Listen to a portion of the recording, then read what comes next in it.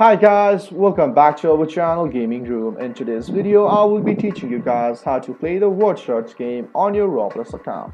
So at first, just open your game Roblox and as you open your game Roblox, you're in this home screen. So just stay at this home screen and then look at the top where you can see the search box. So just press on there and as you press it, just type word search or crossword games.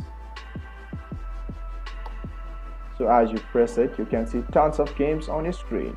You can see your word search game right here, which is the crossword game. So all you have to do is just select it. And also you can see 221 players are active right now.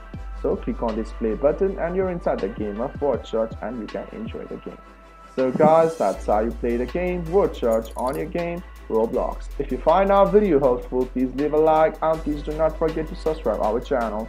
Also hit the bell icon to get updates with our latest videos and drop a comment for reviews and more content like this. I will see you guys again in our next video. Thank you for watching.